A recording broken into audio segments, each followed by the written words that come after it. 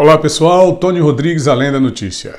Bom, eu gostaria de iniciar esse vídeo falando sobre a presença de uma jornalista da Rede Globo de televisão no avião da FAB, que é a Força Aérea Brasileira, o avião de transporte de autoridades exclusivo para transportar autoridades, que foi até a área Yanomami, na região norte do país, nos estados de Roraima e do Amazonas. O que, o que nós queremos questionar aqui é o seguinte: é, primeiro de tudo, a Sônia Bride viajando num avião da FAB, que é exclusivo de autoridades, segundo uma repórter da Globo. Quer dizer, se você vai no avião das autoridades, que, que tipo de crítica se pode fazer a essa mesma autoridade, se você está vinculado a ela dessa maneira? Mas alguns questionamentos precisam ser feitos. Primeiro de tudo, é, a jornalista da Globo, Sônia Bride, ela, ela perde a sua imparcialidade, como perde a Globo já perdeu há muito tempo, e como a gente sabe também desse engajamento que a emissora tem no governo ou suposto governo do senhor Lula. E aí eu traria aqui os nossos questionamentos sobre essa situação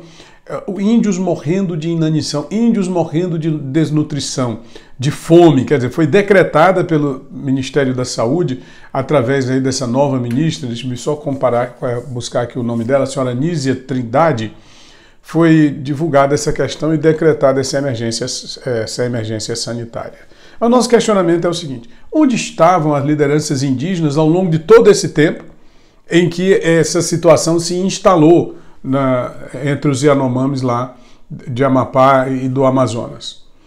Nunca se disse nada sobre o assunto por conveniência. Por que, que nunca se falou nada sobre o assunto, mesmo no governo anterior do presidente Jair Bolsonaro, que tinha uma ligação com os povos indígenas e todos sabíamos disso? Quer dizer que agora está sendo denunciado que essa ligação não existia, mas a gente podia ver isso acontecer no cotidiano do governo. Por que, que a ex-ministra que hoje é senadora eleita, a senhora Damares Alves, nunca disse nada sobre o assunto e agora mesmo ela chegou a dizer que não recebeu absolutamente nenhuma denúncia. Por que, que a ministra não recebeu nenhuma denúncia sobre essa situação gravíssima dos Yanomami? Eles estavam esperando que momento para trazer isso à tona? Porque não houve qualquer manifestação das lideranças políticas de Roraima e do Amazonas?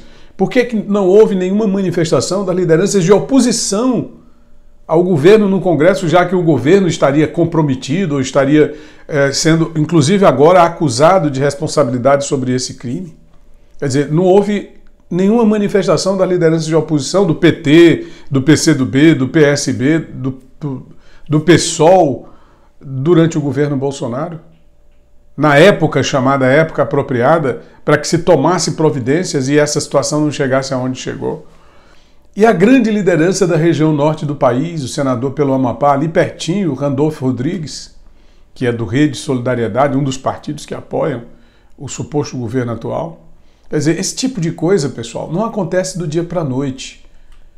Não é de hoje para amanhã que um povo inteiro, que uma nação indígena inteira vai passar por uma situação como essas que os Yanomami estão passando. O que se pode depreender de tudo isso é que o governo usa a fome não para buscar apoiar os que padecem, mas para se projetar e atacar o governo anterior. O ex-presidente Bolsonaro, inclusive, já se pronunciou sobre o assunto, denunciando uma farsa da esquerda, mais uma farsa da esquerda. E nós também tivemos o ministro do Desenvolvimento o show Wellington Dias, que foi governador aqui do Piauí, falando sobre o assunto, dizendo que é inadmissível a fome entre os Yanomami. Eu acho que é inadmissível, é, devidamente comprovada a situação, e, e inadmissível também um, um ex-governador e ministro usar o seu poder político para indicar a própria mulher para o Tribunal de Contas do Estado aqui no Piauí. Uma pessoa que não tem reputação ilibada e nem notável saber jurídico, além de responder a inúmeros processos por desvios na educação do Estado do Piauí.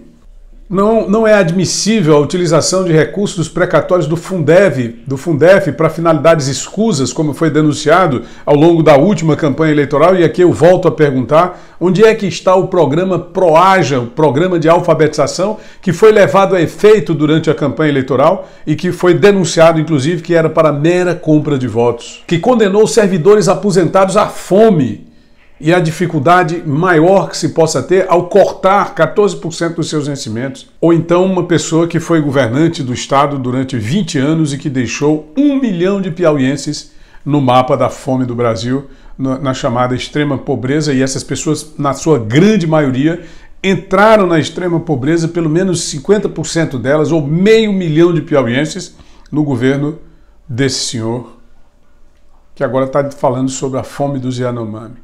Quer dizer, tudo nos parece muito apropriado como narrativa construída para enquadrar o ex-presidente na acusação de genocídio.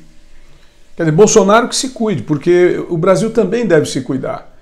Se eles fazem isso com um indivíduo que foi presidente da República, imagine o que fariam com cidadãos comuns que ousam questioná-los.